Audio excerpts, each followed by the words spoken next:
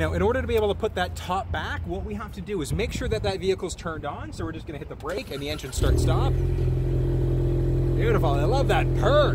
From here, all we're gonna do, there's a handle up at the top here. We're gonna grab that handle, we're gonna rotate it counterclockwise, and that's gonna pop it open from here. Next up, all we're gonna do, there's a little button here. All we're gonna do is press the button away from us.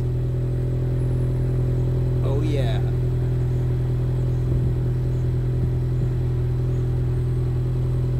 And then same thing, in order to close it, you're just gonna press and hold the button here.